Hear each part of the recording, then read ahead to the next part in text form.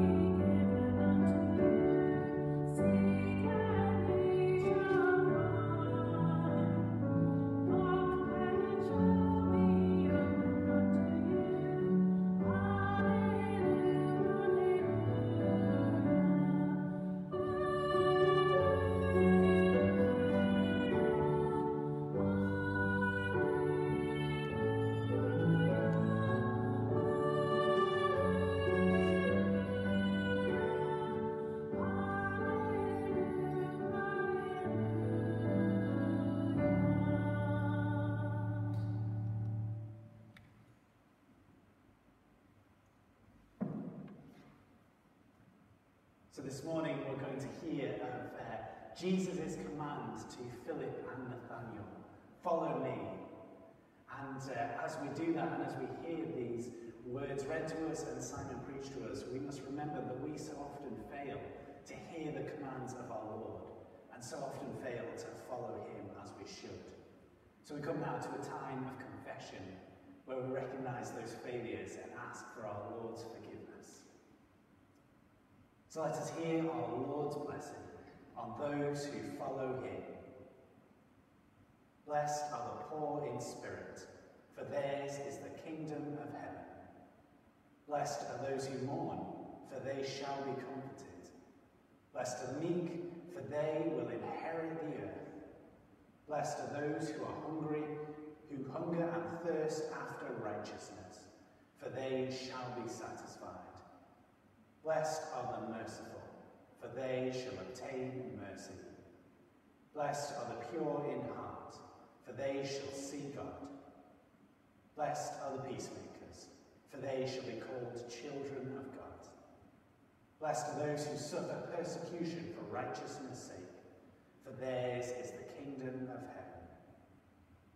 So let us confess our many failures to keep this way of truth and light.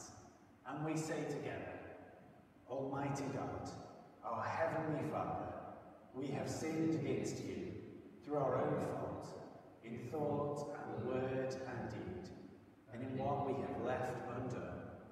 We are heartily sorry and repent of all our sins. For your Son, our Lord Jesus Christ's sake, forgive us all that is past, and grant that we may serve you in newness of life, to the glory of your name. Amen. Well, the good news is that our Father is always ready to forgive us as soon as we respond to the command of Jesus to repent and follow him. So may the Father forgive us by the death of his Son and strengthen us to live in the power of the Spirit all of our days. Amen.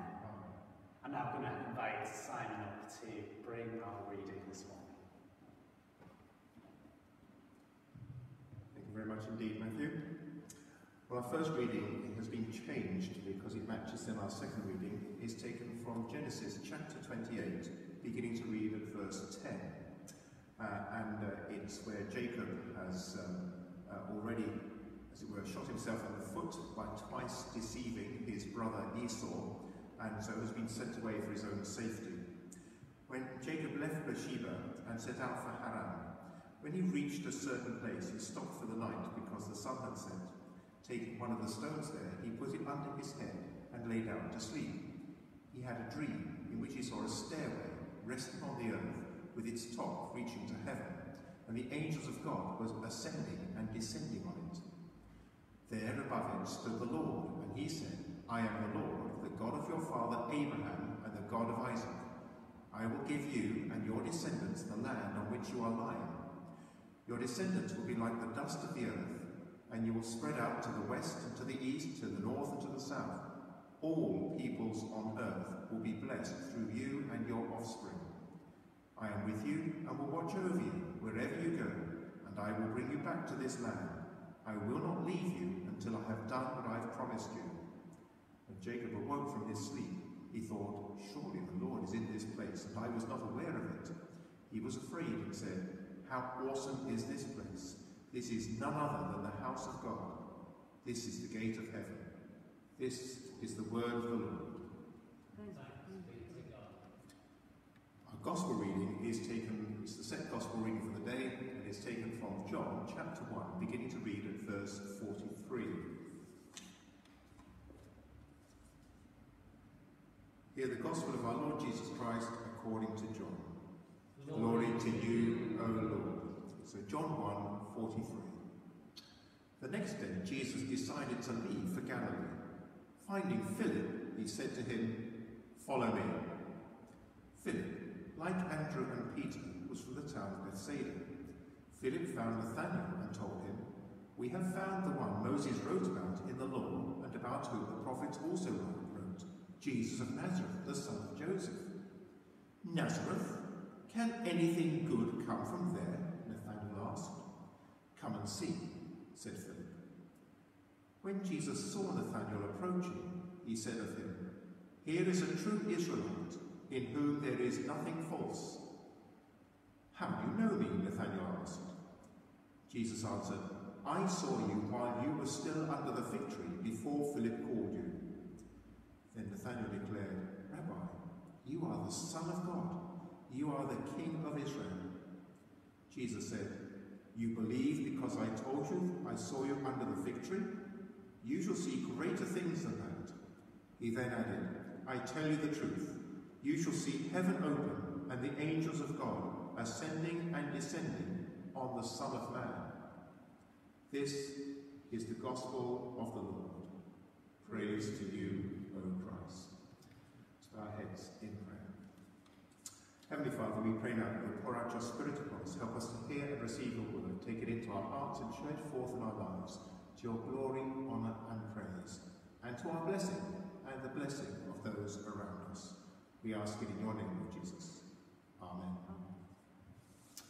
Well, I wonder if you think that uh, this is a rather um, uh, brief passage with not much in it to tell us, but uh, in fact, uh, there's a surprising amount in our passage. Well, it shouldn't surprise any of us, really.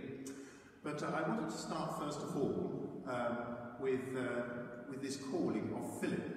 Jesus has already called um, his first disciples of Andrew and his brother Simon, who will later be called Peter, James and John, cousins who have all been working together as fishermen.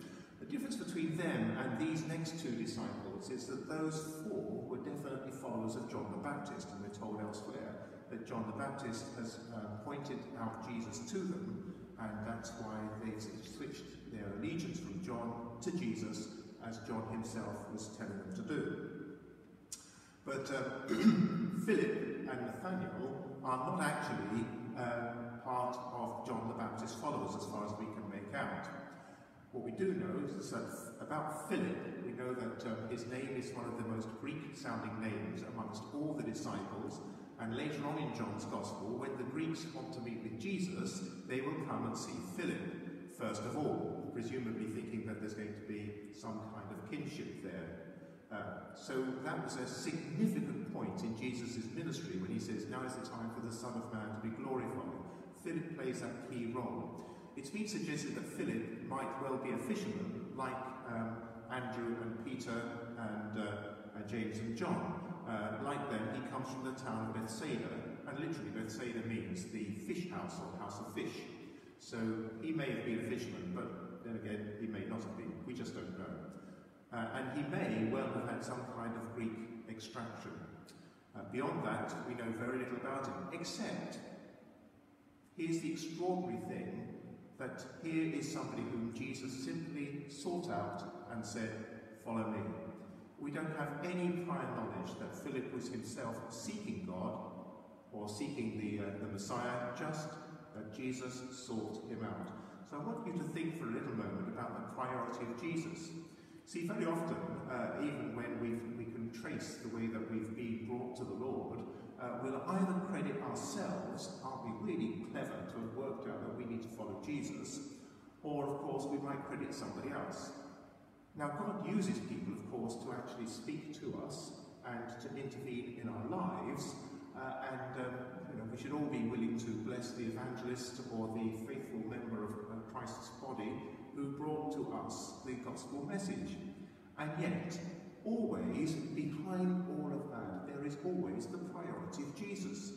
It's the work of His Holy Spirit that makes any evangelism possible. It's the fact that He has already gone before us and prepared the way, rather like John was doing for Jesus, He has prepared the way by the work of His Holy Spirit that actually there is anybody who is willing to follow me.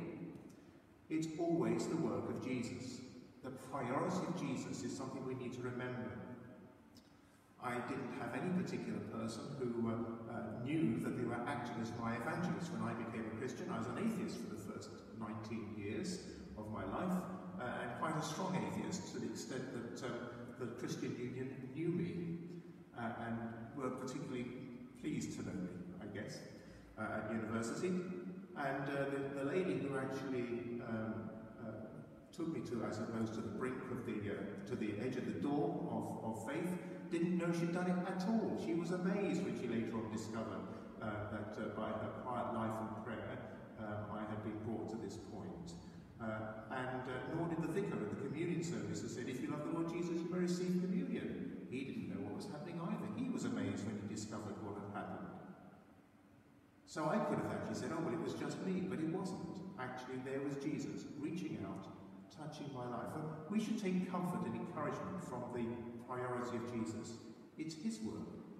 And it's only because of his work that we can expect any kind of success in sharing the good news of Jesus. That should humble us and encourage us, so we know He's always going before us, and He already has His target. To Philip, He simply says, Follow me, and Philip does. And Philip does something very important. The next thing he does is he goes and tells somebody else. We'll come back to that in just a moment. When he goes and tells uh, Nathaniel, Nathaniel began to uh, open up his position in just a moment, but uh, of course Nathaniel is actually reading the scriptures, we know that, um, I'll come back to that as well in a second, and because he's somebody who studies the scriptures and is interested in the scriptures, he has in that sense had some preparation. Uh, he's looking for the Messiah, he really is looking. and um, notice therefore what Philip says to Nathanael is, We have found the one Moses wrote about in the law and about whom the prophets also wrote. The law and the prophets. You know that you study the law and the prophets, you are looking for the Messiah, and you're looking in the law and the prophets to find him. Well, we found him, and he's called Jesus of Nazareth, he's the son of Joseph. And then immediately, what is the response? Not this is really exciting and interesting, but Nazareth, can anything good come from there? Now, some people have reached for this and suggested that Nazareth itself was genuinely a, um, uh, a rather sort of disparate place. There's no evidence of that. This may just simply be local village um, uh, rivalry. So, like we might say, you know, somebody else might say Blackpool, can anything good come from Blackpool? Well, we'd say yes, lots of good things come from Blackpool. We might look at Fleetwood and say, can anything good come from Fleetwood? Well, we'd pause then, wouldn't we? Because we're from Blackpool. Uh, no, good things could come out of Fleetwood as well. It could just be that local rivalry. Later on, this same kind of prejudice uh, will actually, of course, stop. Um, we'll find again in John's Gospel prejudice about the whole region of Galilee when uh, they ask um, uh, they, they ask the, the Pharisee, um, can anything good come from Galilee? And of course, they're wrong because at least three of the Old Testament prophets came from Galilee, so they haven't even read their own scriptures. So there was a bit of a looking down on the whole area, and there was this prejudice, and I've called that the prejudice of Jesus, not his prejudice, but the prejudice against him in that sense. And that's the danger for all of us, is that uh, we're not ready to hear what God wants to say to us through every situation because we come with preconceived ideas, we come with a prejudice, we come expecting this person to be able to speak about Jesus but not this one, this one to respond to Jesus but not this one. Why do we do that? Why do we actually fail to hear that God speaks through the whole of his creation and all people? Even sometimes, of course, people who don't realize that they are speaking for God. If you remember later on in John's Gospel, it is precisely one of those things that he did not realize, this is Caiaphas the high priest, he did not realize it, he was prophesying when he said it is necessary for one person to die for the sake of the nation. He didn't know that he was actually speaking God's words at that particular point. Because again, we need to be aware that God can speak through anyone and anything. And our task, therefore, is to actually be attendant to what God is doing rather than through prejudice and through uh, preconception to wipe it out. So, I would suggest we've found two important lessons here. First of all, that Jesus is the key, it's the priority of Jesus, and secondly, that often blocks him is prejudice. The prejudice, I've called it of Jesus, but it really means against Jesus. Now, the third thing that I want you to see from this passage is that um, uh, what is the very core of the Christian gospel message? Well, it's actually much simpler than sometimes people want to think. Look what happens. So Philip goes and finds Nathanael. and told him, We have found the one that you're looking for. Nazareth, can anything good come out of there? Nathanael asked. And Philip could have just paused there and went, Well, amongst the many things that uh, the, uh, uh, the Nazarites have given us, you know, a bit like um, uh, Monty Python, many things the Romans, you know, yes, some of you will up. However, of course, instead of trying to have an argument with him, instead of trying to win the argument, he simply says, Come and see. Now you remember that when Philip just simply responded to follow me, it was the person of Jesus that was captivating. And here, it is still the person of Jesus. Come and see. Put aside your prejudice, come and see. And the come and see is to come and see Jesus. And we know what the outcome is going to be. We know that actually he's bowled over by Jesus' knowledge of him. Jesus has a uh, has an insight into him. He has a perception of him already. You're not surprised because you know that Nathaniel is part of the priority of Jesus. Nathaniel has already been worked on by Jesus' Spirit in order to bring him. Nathaniel doesn't know that yet, but the simple words then of Philip, come and see. That is the invitation that every one of us is always wanting to say. Not that I know good things and I know lots of theology or I can live a good life and I do lots of good things. Not even some of these sort of theological arguments about the problem of pain and all the other ones that will never fully resolve. The one thing we want to say every time is come and see. Come and see Jesus. Come and see him for yourself. Come and experience him. Come and share him. Come and see that he loves you. And his priority is already working in your heart and in your life. Come and see. And then finally, there's a promise here, the promise of Jesus. Now that's all wrapped up with, what, with this dialogue between Jesus and Nazareth. So I need to unpack a little bit of that dialogue for you to see the promise. Um, it's, it's, clearly summarised at the end. I tell you the truth, you shall see heaven open and angels of God ascending and, ascending and descending on the Son of Man. And you will see greater things than that. But let's go back to the beginning of our passage and unpack a little bit. So Nathanael is uh, described by Jesus as, uh, I saw you while you were still under the fig tree before Philip called you. Now, I said that he was uh, somebody who was clearly studying the, uh, the scriptures, and, um, and that's why Philip used the phrase, the one you're looking for in Moses and the prophets, we found them, if, to paraphrase a little bit. Well, the reason we know that is because of this phrase here. Um, rabbis use this under the fig tree metaphor to describe anybody who was actually reading the scriptures. No doubt it originally started by somebody literally sitting under a fig tree uh, and reading the scriptures under the shade of a fig tree. Uh, but it then became just the general synonym for actually reading the scriptures.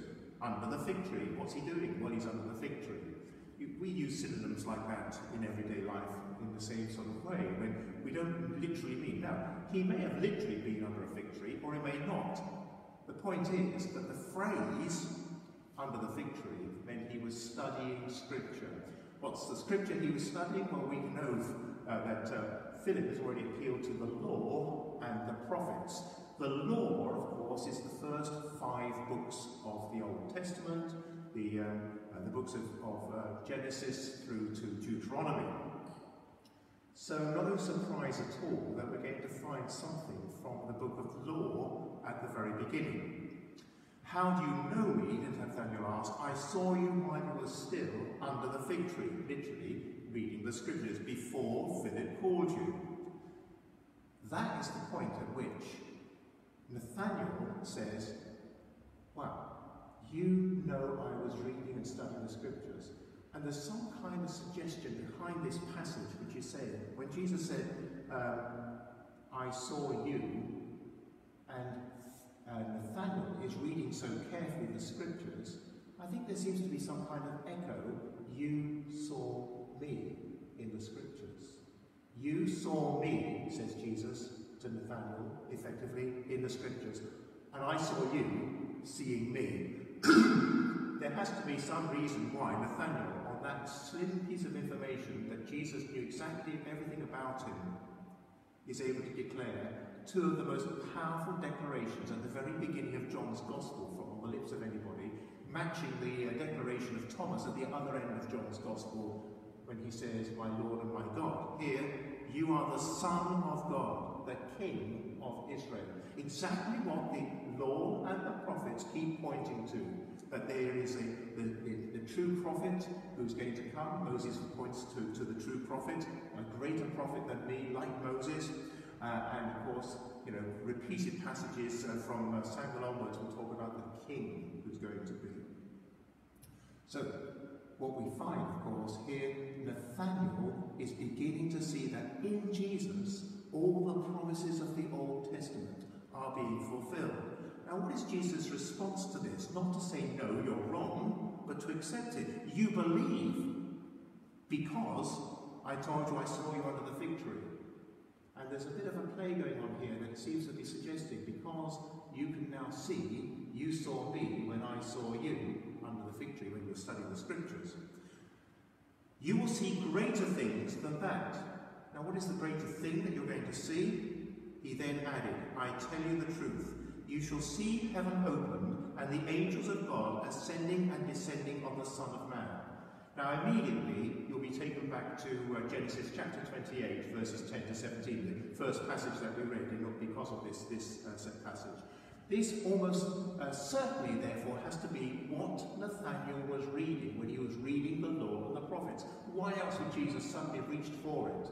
And why, therefore, what he actually said at the very beginning, he is a, a true Israelite in whom there is nothing false, or literally no deceit, no guile, as sometimes said. well, that links it exactly, of course, to the passage that Jesus then refers to subsequently. Let's go back to that story from Genesis and, and unpack that a tiny bit, and then we'll see what Jesus is saying to Nathaniel. He would have understood because he's been reading this very passage and seeing Jesus in the Old Testament and seeing now Jesus before him. So let's go back to Jacob. First of all, we need to remind ourselves, what does Jacob actually mean? The name Jacob means he deceives or supplants. Uh, he was given the name because he was holding on to his brother's heel, uh, which is to grasp, and figuratively that means to supplant or to deceive. And then, of course, um, uh, Esau, who was a bit of a worldly guy, comes in from uh, hunting, he's famished, and uh, he's, being, and he's being made a pot of red stew, uh, and uh, he says, give me some of that stew before I die. And uh, of course, Jacob says, Well, you give me your birthright, I'll give you the stew. What's the point of having a birthright? You're going to die. And of course, actually gives away the most precious thing he had, his birthright. And then the second time deceives his father. You'll remember the story. This is shortly after this episode because Esau by now is planning how he's going to kill Jacob. And so um, uh, Jacob has deceived his father by wearing um, the skin of a dead sheep and cooking a delicious food, which was supposed to be the final blessing. And he gets the blessing of the firstborn, even though he's the secondborn. For his own safety, he's sent him away. He has lived up or down to his name. He deceives. He is a deceiver. But of course, later on, after he's gone, gone out to Haran and come back again, now a wealthy man and made, made up with it with uh, Esau, but all of this under the blessing of God, he has a battle with the angel, uh, the angel of the Lord, which is God, God in a, uh, what's known as a theophany, has a battle, and uh, he obviously loses the battle, and is, has his name changed, uh, and the, uh, the name is Israel, which is the name he'll be given, is contends with God, which is still not a particularly good title to have, really, if you think about it. He deceives to, he contends with God, he battles with God. But of course, that is, in one sense, his whole task. He will then become the father of the nations of, uh, of Israel, and Israel will become the place which learns the lessons from God throughout the whole of the Old Testament and then gives birth to the Messiah for the benefit of everybody. I don't know if you remember the words that were actually said to Jacob as, as he, uh, first of all, he sees this vision. The vision is of a connection between earth and heaven, a ladder on which the angels are going up with the questions and the prayers of the people of God and coming back down with the answers of God. And it's a picture of the link between earth and heaven and the grace and love. And God is blessing from above. But I hope you notice how Jesus changed the image.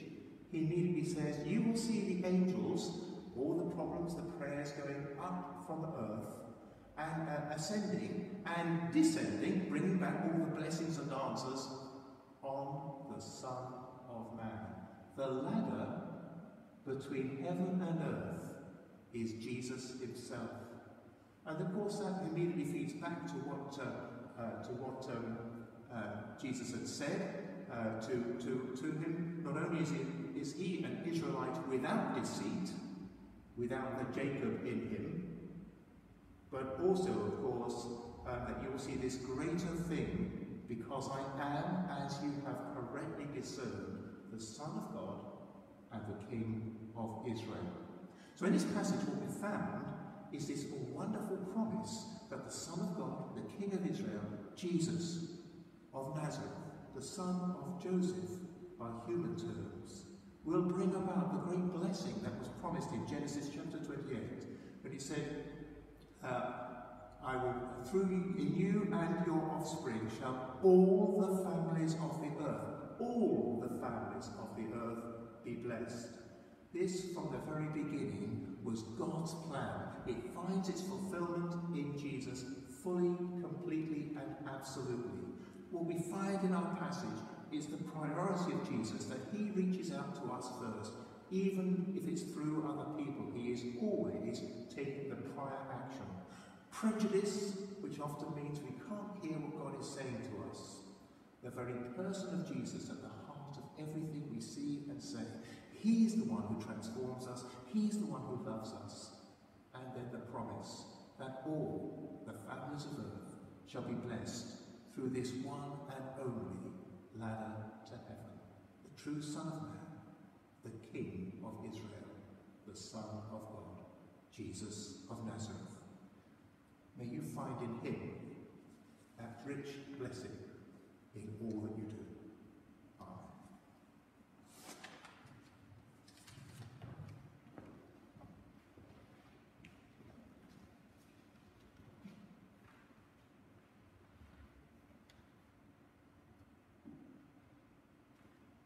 Thank you so much, Simon, for unpacking those passages for us. If you'd like to stand at home, you're very welcome, but we're going to now affirm our faith in the words of the Creed.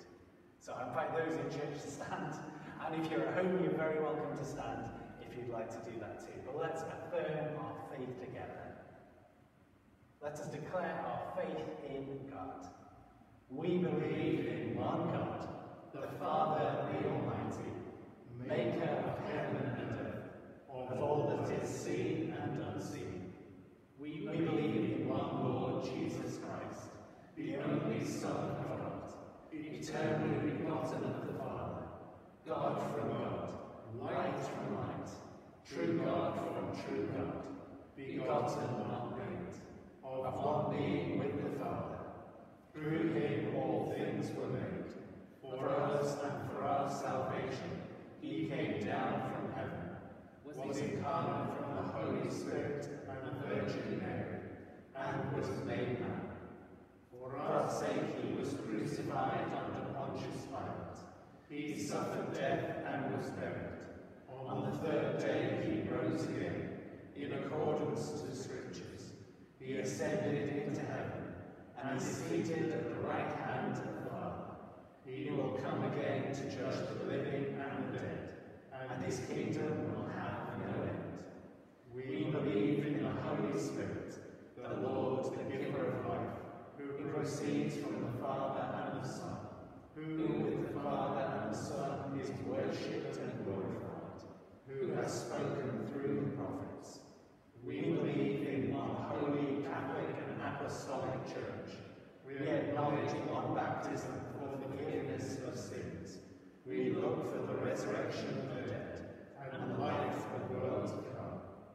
Amen. Please do be seated as we come now to a time of prayer.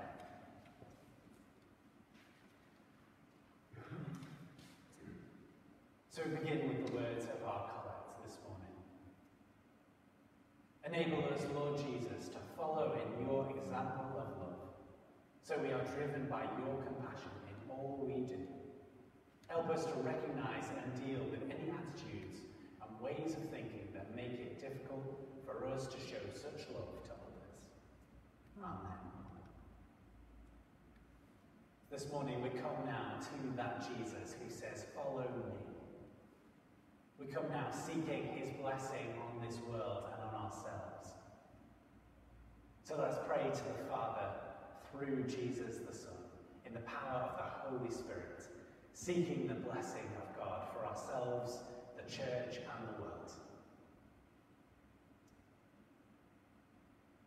Heavenly Father, this morning we seek your blessing on our world, so broken, so in need of your love. We pray especially for all those who are struggling as lockdown continues to put stress and strain on all of us. Pray particularly this morning for those who find themselves struggling with their mental health in this time of isolation.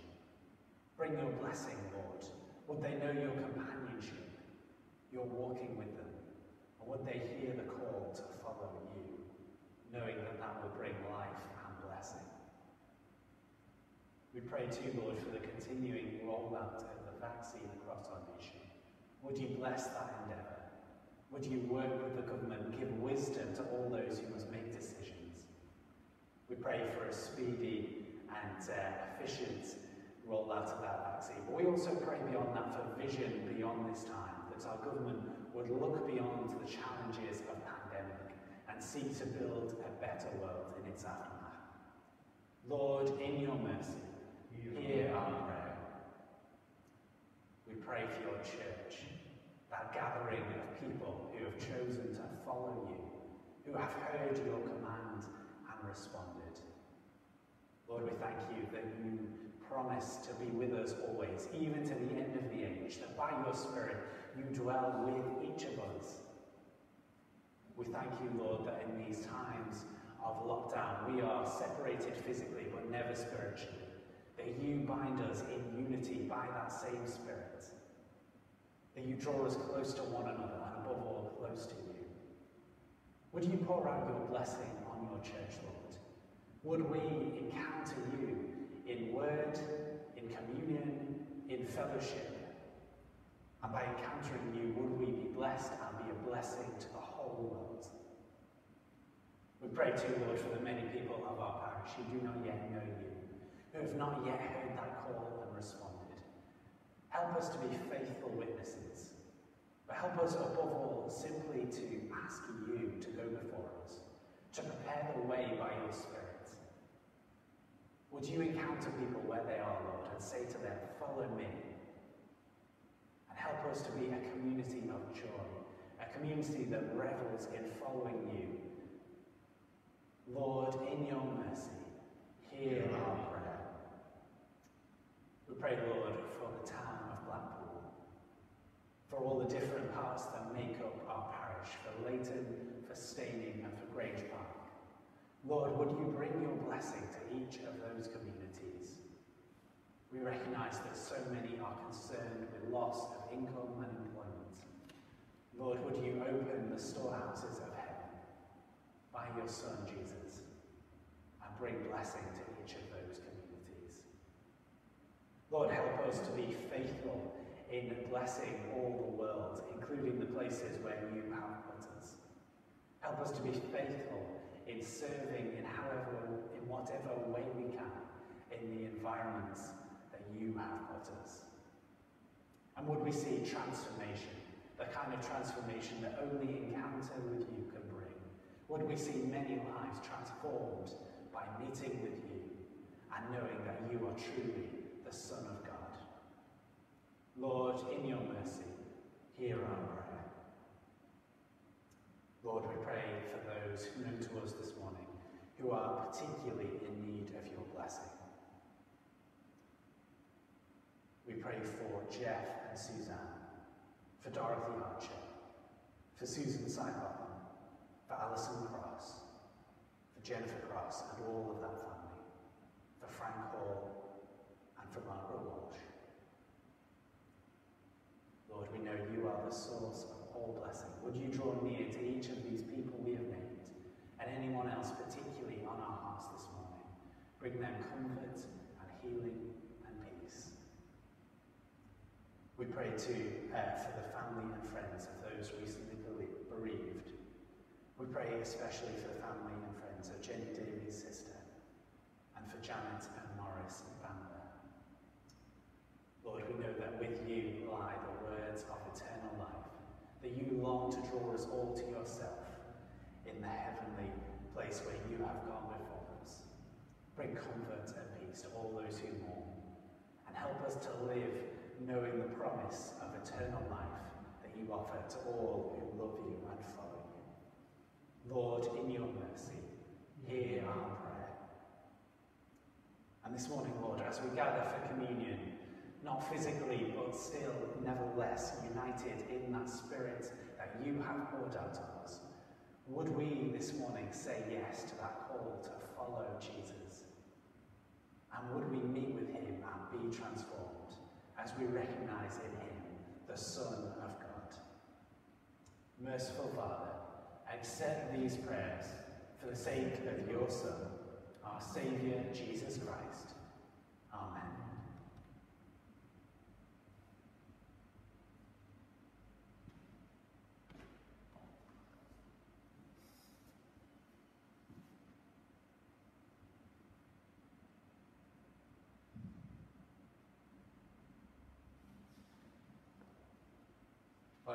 You'd to at home, uh, that's great. Please stand. Uh, and I'm going to invite everybody here uh, to stand as well as we come to sharing that peace that uh, we've uh, been talking about, the way that we can uh, have peace with our Father in heaven through all that Jesus has done for us. The peace of the Lord be always with you. And also with you. We just and uh, share that peace. Please be seated for those of you here. And uh, just a, a, special thank you during uh, this service. Special thank you to Andrew and Sarah who, uh, who have uh, produced the songs for us uh, that we've been, oh, well, the one we've enjoyed and the other two still to as we come to this time of sharing communion, let's just pause and uh, think of those. Uh, you know, this is a, a, a, remembrance of all that Jesus has done. It's a looking forward to him coming again in glory and uh, thinking about uh, our part in the body of Christ and a time for each of us to reflect on where we are in that journey.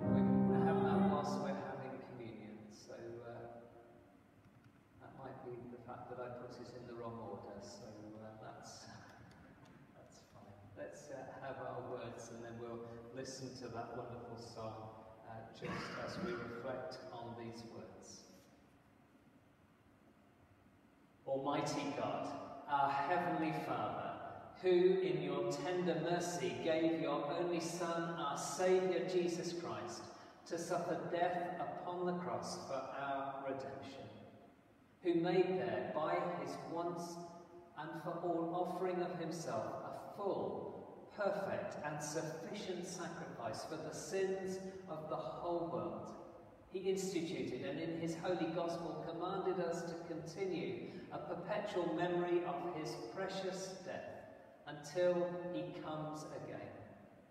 Hear us, merciful Father, we humbly pray, and grant that we, receiving these gifts of your creation, this bread and this wine, according to your Son, our Saviour Jesus Christ, holy institution, in remembrance of his death and may be partakers of his most blessed body and blood, who on the same night that he was betrayed took bread, broke it, gave it to his disciples, saying, Take, eat, This is my body, which is given for you. Do this in remembrance of me. In the same way, after supper, he took the cup, and when he had given thanks, he gave it to them, saying, Drink this, all of you. This is my blood of the new covenant, which is shed for you and for many for the forgiveness of sins. Do this as often as you drink it in remembrance of me. Amen.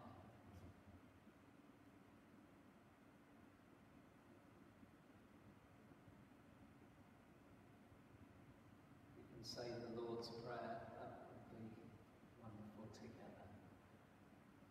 Our Father in heaven, hallowed be your name. Your kingdom come. Your will be done on earth as in heaven. Give us today our daily bread. Forgive us our sins as we forgive those who sin against us. Lead us not into temptation, but deliver us from evil. For the kingdom, the power, and the glory are yours, now and forever.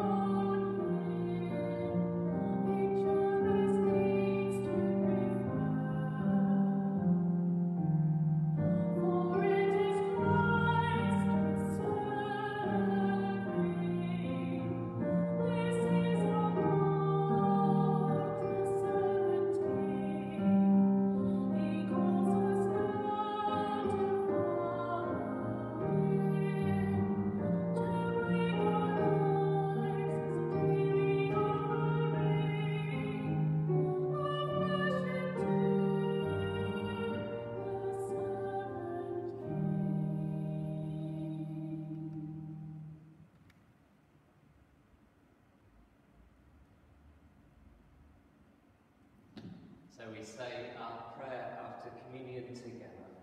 Father of all, we give you thanks and praise that when we were still far off, you met us in your Son and brought us home. Dying and living, he declared your love, gave us grace and opened the gate of glory. May we who share Christ's body live his risen life. We who drink his cup bring life to others. We whom the Spirit lights give light to the world. Keep us firm in the hope you have set before us, so we and all your children shall be free, and the whole earth live to praise your name through Christ our Lord. Amen. We're going to listen to a final hymn now. At the name of Jesus, every knee shall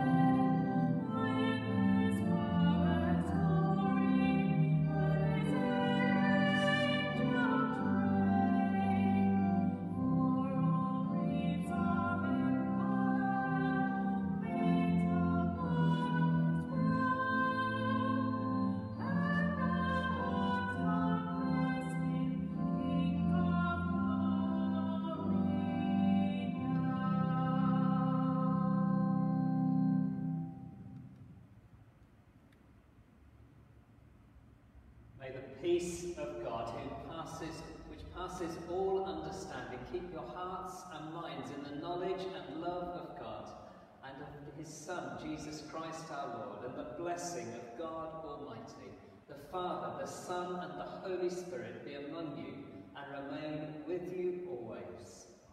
Amen.